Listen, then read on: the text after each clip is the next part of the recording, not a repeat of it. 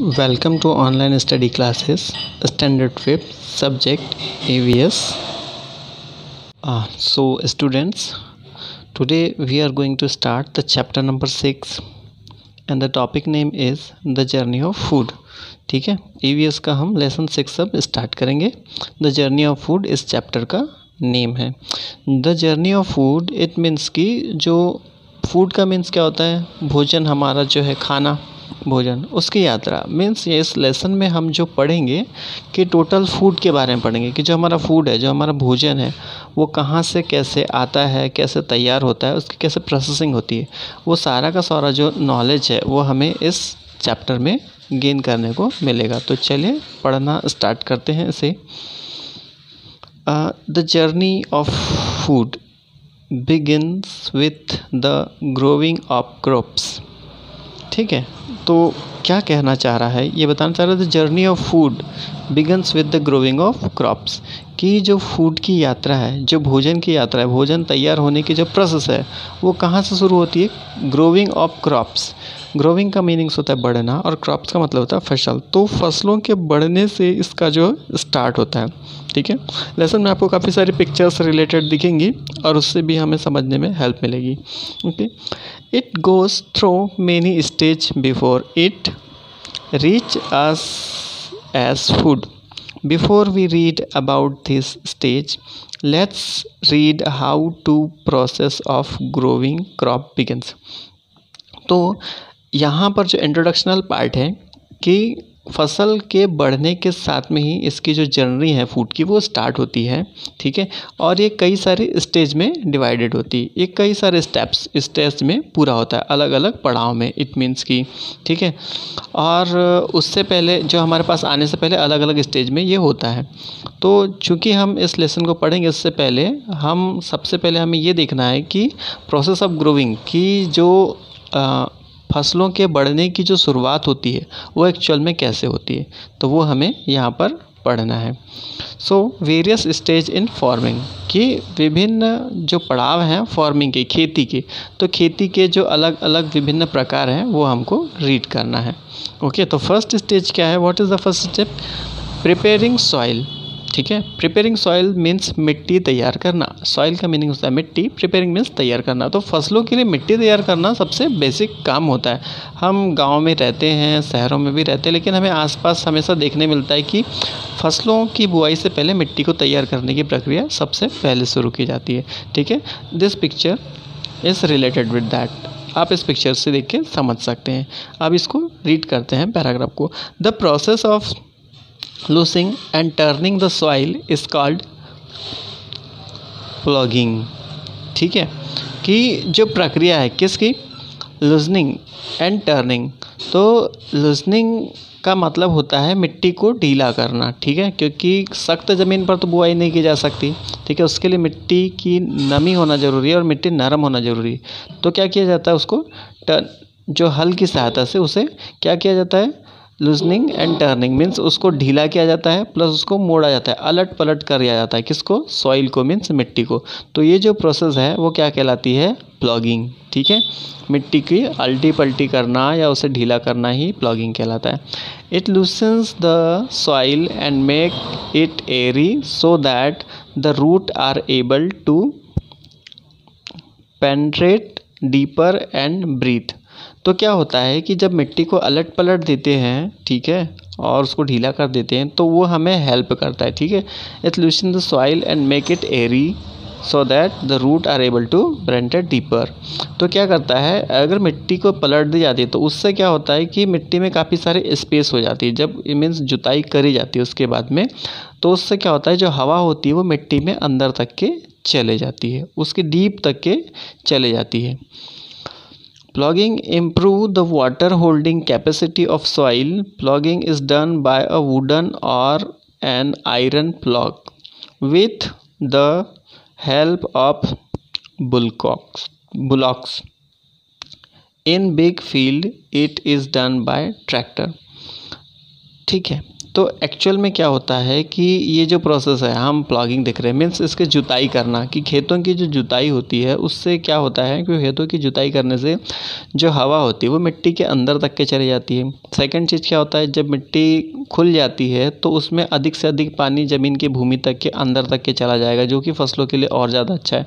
जितनी ज़मीन की या भूमि की या मिट्टी की क्षमता है कैपेसिटी है कि वो पानी को सोख सकती है तो पानी जल्दी जल्दी अंदर जा सकता है तो वो बहुत ज़रूरी होता है। और ये जुताई का जो काम है, वो किससे किया जाता है? हल से किया जाता है, ठीक है? किससे किया जाता है? वुडन और आयरन प्लॉक। तो वो उसके लिए हल, अब हल लकड़ी का भी होता है, ठीक है? और जो मशीनरी भी होता है, आजकल दोनों टाइप के होते हैं। जो पहले से खेती करते हैं तो वो बैलों की सहायता से हल से करते हैं, लेकिन आजकल ट्रैक्टर हो गया तो ट्रैक्टर वाले हल से भी खुदाई की जाती है, ठीक है? तो यहाँ पर ये बताया गया कि जो हल होते हैं, वो वुडन के मीन्स लकड़ी के भी बने होते हैं, या फिर क्या होते हैं आयरन के बने होते हैं, जिनको प्लग कहा जाता है। जो हल को क्या कहता है?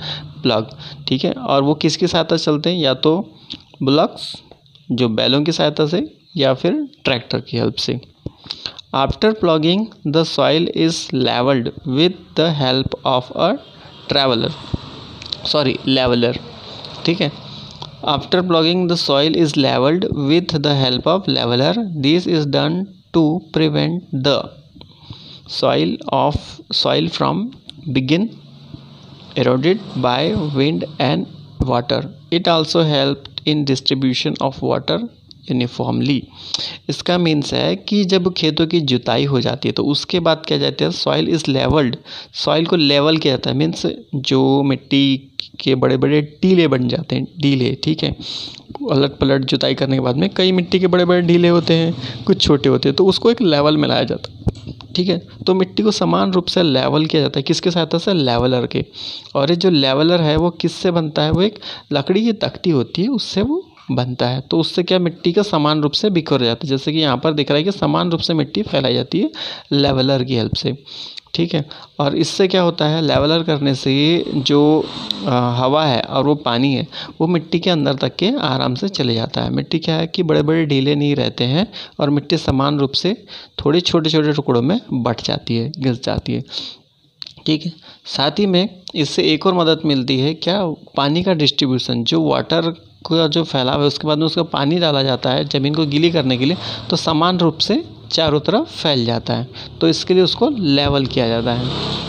नेक्स्ट जो पैराग्राफ है, इससे रिलेटेड फ़ार्मिंग से सोविंग सीड मीन्स बुआई करना, बीजों की बुआई करना। सोविंग का मतलब होता है बुआई एंड सीड्स मतलब होता है बीज तो बीजों की बुआई करना। अब इस पिक्चर में आपको एक किसान दिख रहा है फार्मर जो कि बुआई कर रहा है। The process of planting seed in the soil is called sowing की जो प्रक्रिया है प्लांटिंग मीन्स रोपण करना, ठीक है?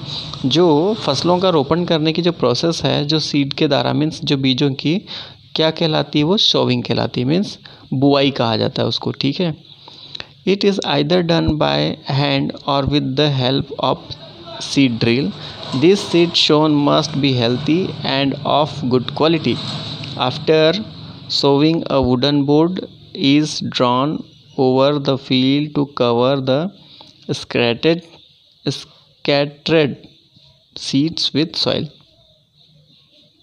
तो क्या होता है कि ये जो प्रक्रिया है किसकी बीजों की बुआई की तो ये सोविंग कहलाती है और जब बीजों की बुआई की जाती है, ठीक है, कैसे की जाती है, हाथ से, जैसे कि ये हाथ से किसान क्या कर रहा है, बीजों को फेंक रहा है, ठीक है, ये हो गया। या दूसरा क्या होता है कि सीड ड्रिल्स आती है, एक ड्रिलिंग मशीन होती है, उसकी सहायता से बुआई की जाती है। जब बुआई हो, जब होने लगती है तो ये बात ज़रूरी होती है कि जो बीज होता है, जो हमारा सीड्स होता है, वो अच्छी क्वालिटी का और स्वस्थ होना चाहिए। गुड क्वालिटी का अगर हम बीज लगाएँगे तो उससे फ़सलें हमेशा अच्छी होगी और अगर बीज में ही क्वालिटी नहीं होगी तो फ़सल अच्छी नहीं हो सकती है, ठीक है। और फिर उसके बाद में क्या किया जाता है कि जब बुआई हो जाती है तो उसके बाद में एक लकड़ी की तख्ती के सहायता से खेतों को एक बार फिर से कवर किया जाता है। मीन्स बीजों को ढक दिया जाता है मिट्टी से, अलट पलट करके ताकि वो बीज जो है ज़मीन के अंदर तक के चले जाए। जो बिखरे हुए खेतों भर में पूरे जो बीज बिखरे होते हैं, उसको मिट्टी से कवर कर दिया जाता है। तो ये प्रोसेस क्या होगी आपकी? सोविंग सीड की। मीन्स बीजों की बुआई। नेक्स्ट आता है वीडिंग ठीक है? There are many unwanted plant that grow along the main crop अब वीडिंग का मीनिंग होता है निराई करना। निराई या निराई। हम जो लोकल लैंग्वेज में उसको निंदाई कहते हैं कि चलो खेत की निंदाई करना है। तो उसका मतलब ये होता है कि जो कुछ अनवांटेड झाड़ियाँ, या फ़सलों के बीच में कई सारे पौधे या कचरा जो उग जाता है, उसको हटाने की प्रोसेस कहलाती है वीडिंग या निराई या निंदाई, हम बोलते हैं। तो क्या कहा होता है कि जो हमारे प्लांट्स होते हैं, जो हमारी फ़सल होती है, उसके बीच में कई बार क्या होता है अनवांटेड जो गैर ज़रूरी कचरा होता है, वो उग आता है, जो मुख्य फ़सल के बीच में। तो this unwanted plant are known as weed तो यही जो अनवांटेड मीन्स गैर ज़रूरी पौधे जो होते हैं, उसे क्या कहा जाता है? वीड्स कहा जाता है। ठीक है? Weed also have to be remote so that they do not choke the plant and take up all nutrient in the soil the process of removing weed is called weeding तो क्या होता है कि कई सारा जो कचरा होता है या जो झाड़ियाँ होती है फ़सलों के बीच में उग जाती है, ठीक है? और इसे निकालना बहुत ज़रूरी हो जाता है, ठीक है? अगर नहीं निकालेंगे तो क्या होता है, जो खाद और फ़सल खाद होती है, जो ज़मीन के पोषक तत्व होते हैं, वो कहाँ जाने लगता है? उन्हीं झाड़ियों में जाने लगता है तो उसको निकाल दिया जाता है। उसको निकाल देने से या उसकी निराई कर लेने से क्या होता है कि जो हम जो भी खाद, पानी दे रहे हैं खेतों में, ठीक है, और जिससे जो भी पोषक तत्व भूमि में समा रहे हैं, वो सीधे कहाँ पर जाएँगे? हमारी फ़सलों में जाते हैं, ठीक है? सारा जो न्यूट्रेंट है, वो मिट्टी से कहाँ जाता है? हमारे प्लांट में जाता है। और फिर क्या होता है कि हमारे प्लांट चौक नहीं होते हैं, ठीक है? तो ये चीज़ होता है और इसी को कचरा निकालने की जो प्रोसेस है, उसको वीडिंग कहा जाता है, ठीक है? Pesticide and insecticide are use to protecting the growing crop from pest and insect which can harm them insect ठीक है? तो पेस्टिसाइड का मीनिंग होता है कीटनाशक, ठीक है? इंसेक्ट इंसेक्टिसाइड्स का मीनिंग भी होता है कीटनाशक या कीड़े मारने वाली दवा, हम बोलते हैं। तो पेस्टिसाइड और इंसेक्टिसाइड ठीक है? They are use to protecting our growing crop ये क्यों यूज़ की जाती है? प्रोटेक्ट करने के लिए मीन्स सेफ़ रखने के लिए, सुरक्षित करने के लिए। अपनी जो बढ़ रही फ़सल होती है, उसको सुरक्षित करने के लिए इनका यूज़ किया जाता है। मीन्स कीटनाशकों का पेस्टिसाइड्स का। ठीक है, किससे? जो पेस्ट होते हैं और इंसेक्ट होते हैं। पेस्ट का मतलब होता है कीट और इंसेक्ट्स का मतलब होता है कीड़े। जो फ़सलों के खाने वाले कीड़े होते हैं छोटी छोटी मक्खियाँ होती है, ठीक है? तो उन्हें कहा जाता है, जो फ़सलों को बर्बाद कर देती है, ठीक है? और क्या करती है? फ़सलों को नुकसान पहुंचाती है। तो ऐसे फ़सलों को बचाने के लिए, फ़सलों को कीड़ों से, घुन से कई तरह के जो कीट पतंगे होते हैं, उनसे बचाने के लिए खेतों में क्या किया जाता है? पेस्टिसाइड या इंसेक्टिसाइड्स का छिड़काव किया जाता है। मीन्स कीड़े मारने वाली दवा या कीटनाशकों का छिड़काव फ़सलों पर किया जाता है, जिससे हमारी फ़सलें सुरक्षित रहें। इरिगेशन इरिगेशन का मतलब होता है सिंचाई। अब यहाँ देख रहे हैं आप, बोरवेल वाटर पंप की हेल्प से खेतों में पानी डाला जा रहा है। तो इरिगेशन का मतलब होता है सिंचाई। Water is essential for growth for the growth of plant जो पानी होता है वो अति महत्वपूर्ण है एसेंशियल मीन्स महत्वपूर्ण है। किसके लिए? बढ़ते हुए प्लांट के लिए। बढ़ते हुए जो हमारे पौधे हैं फ़सलों के, वो बढ़ती हुई फ़सल के पौधे के लिए, बढ़ती हुई फ़सलों के लिए पानी वो बहुत ज़रूरी होता है। अगर पानी नहीं मिलेगा तो हमारी फ़सलें क्या होगी? बढ़ेंगी नहीं जल्दी। The process of watering plant in the field is known irrigation तो जो प्रक्रिया होती है किसकी? Watering plant in the field कि जो पौधों को पानी देने की प्रक्रिया वाटरिंग मीन्स पानी देने की जो प्रक्रिया है ठीक है, खेतों में, उसी जो प्रोसेस को क्या कहा जाता है? इरिगेशन कहा जाता है। सिंचाई, पौधों में पानी डालना, खेतों में पौधों की सिंचाई करना, ये खेतों के जो पूरे रोपे होते हैं, फ़सलों की सिंचाई करने की प्रोसेस होती है, वो इरिगेशन कहलाती है या सिंचाई कहलाती है। The soil has to watered और irrigated properly depending on the crop being, be grown. Too little और too much water can kill the crop ठीक है? तो जब क्या किया जाता है? ज़मीन जो हमारे खेतों में पानी दिया जाता है इरिगेशन किया इरीगेटेड किया जाता है, ठीक है? यानी सिंचाई करी जाती है कुल मिला के जब हम चाहे कुओं से करें, बोरवेल से करें या नहरों की सहायता से, जिस भी सहायता से हम खेतों में सिंचाई करते हैं और पानी पहुंचाते हैं फ़सलों तक के। तो ये पूरा डिपेंड किस करता है? वाटर पे, कि हमारी फ़सलें कितनी बड़ी होंगी। अगर समय पर हमारी फ़सलों को पानी मिलेगा तो हमारी फ़सलें सही लेवल में बढ़ेगी, सही आकार में बढ़ेगी और हमारे ऊँची फ़सलें होंगी, ठीक है? ये ज़रूरी होता है। और बहुत पानी बहुत ज़्यादा कम भी नहीं होना चाहिए, बहुत ज़्यादा ज़्यादा भी होना चाहिए। टू लिटिल और too much water can kill the crop क्या कहा गया है कि बहुत कम पानी और बहुत ज़्यादा पानी से फ़सलें मर सकती है। तो जितनी मात्रा की ज़रूरत होती है पानी की खेतों में, उतनी ही मात्रा डालना ज़रूरी होता है। Now adding manure and fertiliser means खाद और उर्वरकों का छिड़काव करना, खाद और उर्वरक खेतों में डालना। मैन्योर और fertiliser are added to the soil to make it fertile इसका मीनिंग है कि जो खाद है और उर्वरक है, ठीक है?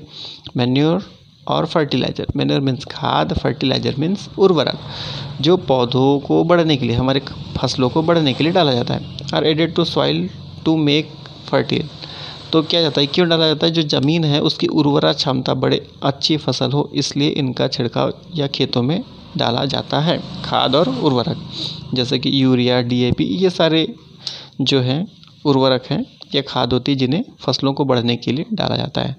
Manure is made from animal and plant waste where fertiliser are made from chemical like nitrogen and potassium तो जो खाद है, ठीक है, जो मैन्योर है, वो खाद कैसे बनती animal and plant waste animal waste मतलब होता है कि गोबर। जो गाय, बैल, जितने भी जानवर होते हैं, उनका जो वेस्ट होता है, उनका गोबर होता है या वेस्ट निकलता है, उससे प्लस पेड़, पौधों, पत्तियाँ, इनका जो सूखा कचरा होता है, उससे क्या तैयार किया जाता है? खाद तैयार की जाती है, जो देसी खाद होती है।